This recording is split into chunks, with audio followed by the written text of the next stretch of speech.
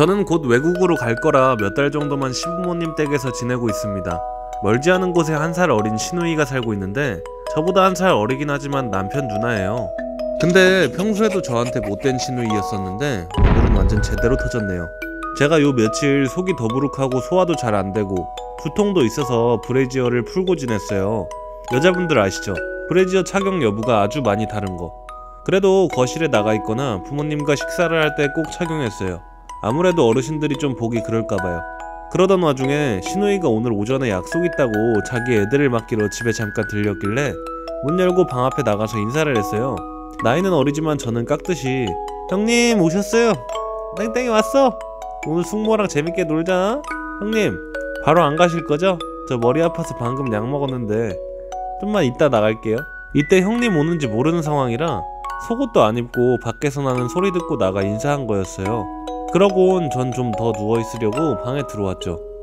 근데 잠시 후 신우이가 노크도 없이 방문을 확 열더니 눈을 부릅뜨면서 올게 집에서 속옷 안 입고 있어?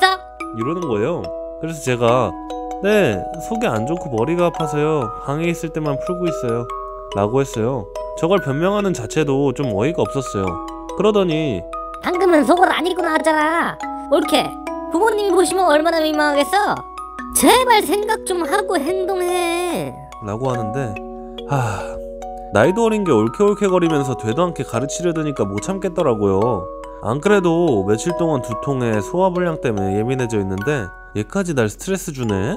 라고 생각이 들었어요 그래서 한마디 했습니다 형님 일단 제 방에서 나간 다음에 노크하고 다시 들어오세요 라고 했더니 당황하면서 뭐? 뭐라는 거야? 좀 전에 제 방에 들어올 때 문 확 열고 들어오셨잖아요. 제발 생각 좀 하고 행동하세요.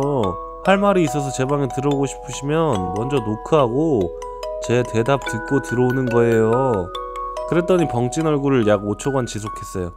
얼굴 찌푸려서 못난 표정으로 서 있길래 한 번 더 할 말 있으면 노크하시라고요 나가서 없으시면 그냥 나가세요 라고 했더니 부들부들 대다가 그냥 나가네요 아휴 한 15분 누워있다가 나갔더니 여전히 눈 까디집고 눈치 슬금슬금 보더니 지 볼일 보러 나갑니다.